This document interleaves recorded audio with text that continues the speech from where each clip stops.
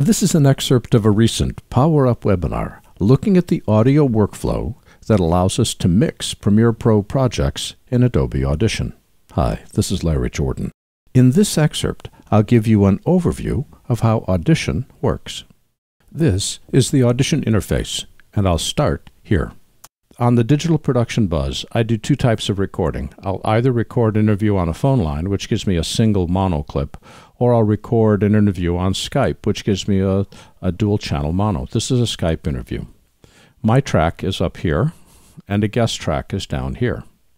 As we look at Audition, this is a timeline-based format. So there's the timeline where my audio clips are stored. This works exactly the same conceptually as it does inside Premiere. This is the Essential Sound panel. We're going to talk about that later. I'm not going to talk about it now, so I'm going to click these three lines right here which open up a flyout menu, and I'm going to close the panel just to get myself some more room. Like any Adobe interface, if I hit the tilde key, whatever panel my cursor is in enlarges to full screen.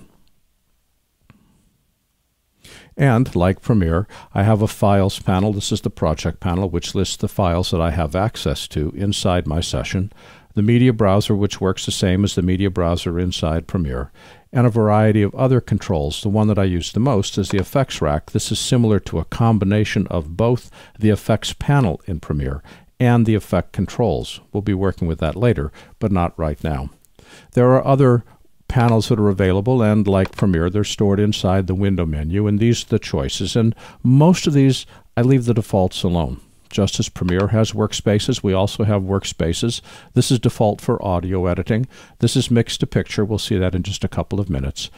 Audition remains very, very big in radio production. It's where it got its first big break, and radio production is more high speed, so it opens up uh, interface with metadata for tagging so that people know where the clips came from. You can see additional workspaces by going up to the window menu and taking a look at all the different choices, and these are all just wonderful, but the ones that I use the most are default and edit audio to video. And just as you can change the interface in Premiere by dragging stuff around, you can change the interface in, in Audition by dragging stuff around. Audiometer is this big thing down here. Now, if I play this, remember you're not going to hear anything. We're hearing the combined audio from all the tracks. This is the master output. If I right mouse click in the master output, this allows me to set what the settings are because I really don't care how quiet anything is, because I, I, live in the world today, I care about how loud it is. So I set this to 24 dB range. If I was doing classical music where dynamic range is critically important, these settings simply change what the meters display. They're not affecting my levels at all. Dynamic peaks means that as I play this, see that little yellow line? That yellow line floats. It represents the loudest my sound has been for the last second or so. And this darker line is called a, a valley line, where it represents how soft my audio has been for the last second or so. So between the dark blue and the, the yellow line, I'm able to see what the spread is between the loudest and the softest passages in, in my work. There's a couple of editing tools that I wanted to illustrate here before we got into a mix, which are slightly different than Premiere and extremely useful. We can trim any clip, the same as we can inside Premiere. I'm going to grab the title and I can drag the clip around. This is Premiere-ish. If I grab the edge of a clip, I can make a clip shorter or longer. But notice that although these two clips were recorded at the same time, they're not locked, unlike tracks 1 and 2 on a dual mono clip inside Premiere, where I can't move the left channel without moving the right channel. Here, I can. So I've got to be really, really careful when I'm dragging a clip that if I'm working with multiple clips, I select both of them and drag them. Otherwise, they're going to get dragged out of sync. Hold the Command key down and scroll wheel in or scroll wheel out. You can quickly zoom in or zoom out on a on a particular section of the of the timeline, or type just simply the plus key, same as Premiere, or the minus key, and you zoom back out again. Now I'm going to zoom in. There's my timeline. It shows me that I'm uh, 1 minute 25 seconds. So there's each of those little gaps is a sec. Well, I need to get closer than that. I need to actually get closer than that. I want to get close. Actually, I'm now down to the sample. That's 148 thousandth of a second between that square dot and this square dot. So if you want to get detailed in your audio editing, we can drill down to the sample level. Premiere only takes us to one ten thousandth of that level. I mean, Audition's just ridiculously precise. Here's a couple tools that I want to show you. Number one, when we slice tools, we use the razor blade tool. I can slice an individual track. I can, if, I, if they're not collected. Uh, there we go. I can slice an individual track by typing the letter B for blade. And notice the blue line is on a single track, or type the letter B a second time, and now I can select all the tracks and cut them at the same time. Or I can put my playhead where I want the cut to occur and type Command B. Command B will cut all the clips at the position of the playhead. So I can cut a clip by position of the playhead or by using the, the blade tool. I use this quite frequently, but the one that I use the most is the, what's called the time selection tool. It's this one right here. Many, many, many, many times, let's just find an example. Oh, there's a good example. Here, for instance, the letter V, the same as Premiere, allows me to go back to the arrow tool, the selection tool.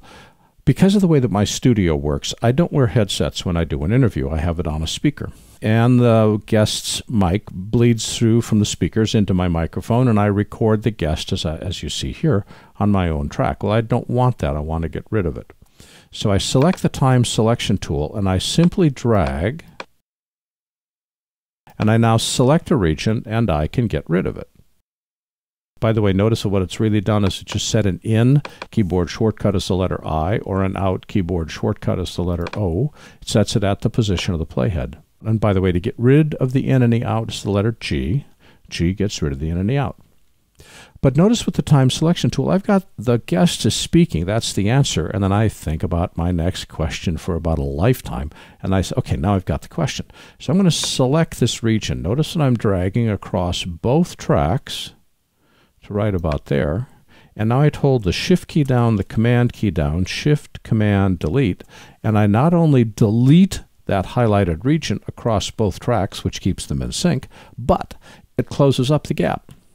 So I select the time selection tool, drag across, hit the delete key, and if I don't hold any modifier keys down, it deletes it and doesn't change the sync. Now here I've got one of my egregious breaths when I'm taking too deep a breath. I want to get rid of that. And I've got a lip click here because otherwise I wouldn't be able to illustrate this.